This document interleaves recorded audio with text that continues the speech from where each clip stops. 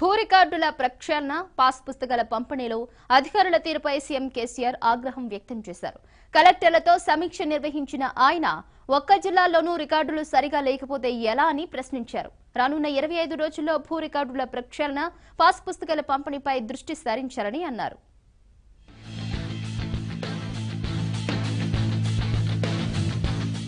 కొత్త పట్టాదారు పాస్ పుస్తకాలు రైతు బంధు చెక్కుల పంపిణీ కార్యక్రమంపై సీఎం కేసీఆర్ సమీక్ష నిర్వహించారు. ప్రతి రైతుకు పాస్ బుక్ చెక్కు అందటానికి ఎటువంటి చర్యలు తీసుకోవాలనే విషయంపై అభిప్రాయాలు తీసుకున్నారు. చిన్న జిల్లాలు చేశాం. రికార్డుల నవీకరణకు వంద రోజుల అవకాశం ఇచ్చాం. ఒక్క జిల్లాలో కూడా రికార్డులు సరిగ్గా లేకపోతే ఎట్లా? ఇదేనా జిల్లాలు ఏర్పాటు చేసిన ఫలితం? నవీకరణకు కోట్లు ఖర్చు చేశాం. బాగా పనిచేశారని ఇన్సెంటివ్ ఇచ్చాం. అయినా ఫలితం ఏది? అంటూ కలెక్టర్లపై ఆయన ఆగ్రహం వ్యక్తం చేశారు. వివాదాలు లేకపోయినా వివాదాస్పద జాబితాల్లో చేర్చారని పేర్లు ఫోటోలు విస్తీర్ణాలు మార్చేశారని లక్షల సంఖ్యలో పాస్ పుస్తకాల్లో తప్పులొచ్చాయని ఆక్షేపించారు. నవీకరణలో లోపాలు రోజురోజుకు వస్తున్న వందలాది ఫిర్యాదులపై ముఖ్యమంత్రి తీవ్రస్థాయిలో మండిపడ్డారు.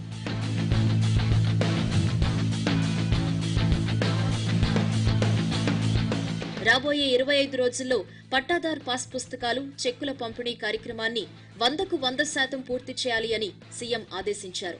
ప్రతి జిల్లాకు ఒకరు చొప్పున మంత్రులు స్పీకర్ డిప్యూటీ స్పీకర్ వంటి వారిని ఇన్ఛార్జీలుగా నియమించాలని నిర్ణయించారు. వారు జిల్లాల్లోనే ఉండి పంపిణీని వందకు వంద శాతం పూర్తి చేయాలని ఆదేశించారు. మే ఇరవై నాలుగు నుంచి జూన్ ఇరవై వరకు ఇరవై ఐదు రోజుల పాటు మరో పని పెట్టుకోకుండా అధికార యంత్రాంగం అంతా ఇదే పనిలో నిమగ్నం కావాలని చెప్పారు.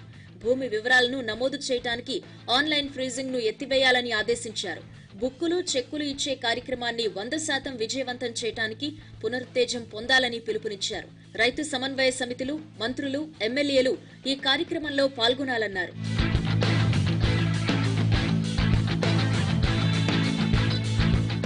కార్డులు ఇవ్వడానికి నిరాకరిస్తున్న వారి పాస్ పుస్తకాలను పక్కన పెట్టాలని సీఎం కేసీఆర్ ఆదేశించారు. భూ రికార్డుల ప్రక్షాళన పాస్ పుస్తకాలు చెక్కుల పంపిణీ కార్యక్రమాన్ని నూటికి నూరు శాతం పూర్తి చేసే వరకు విశ్రమించొద్దని అధికార యంత్రాంగానికి సూచించారు. పాస్ పుస్తకాల్లో దొర్లిన తప్పులను కూడా సవరించాలని ఆదేశించారు. ఇప్పటి వరకు జరిగిన భూమి అమ్మకం కొనుగోళ్ళకు సంబంధించిన అన్ని వివరాలు నమోదు చేసి దాని ప్రకారం అందరికీ పట్టాదార్ పాస్ పుస్తకాలు అందించాలని చెప్పారు. భారతదేశానికి రాలేకపోతున్న ఎన్ఆర్ఐలకు పాస్ పుస్తకాలు ఇవ్వటానికి ప్రత్యేక విధానం అనుసరించాలని ఆదేశించారు. కొత్త జిల్లాలతో కలెక్టర్లకు పర్యవేక్షణ సులభమైందని దీన్ని సానుకూల అంశంగా తీసుకుని మరింత చిత్తశుద్దితో విధులు నిర్వర్తించాలని సూచించారు.